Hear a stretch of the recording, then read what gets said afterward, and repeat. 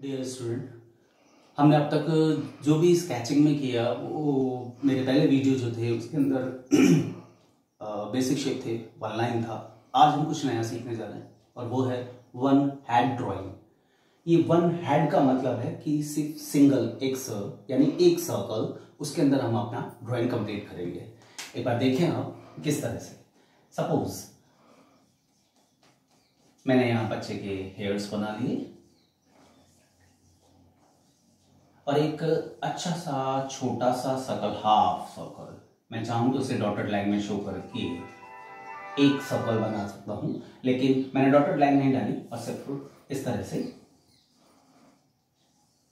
आधा सर्कल बना करके उसकी नोज़ और एक बहुत अच्छी सी, लंबी सी, अच्छी मुस्कान बना दी स्माइलिंग फेस और इसके दो हैंड बना दिए, हाथ बना दिए यहाँ से।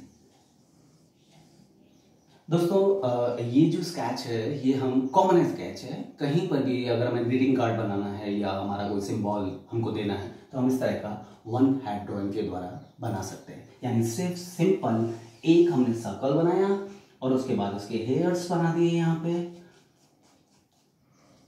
आ, कुछ इस तरह से जो कि मेरा ऊपर बनता हुआ आ रहा है और उसके बाद मैंने दो आईज बनाई यहाँ पे।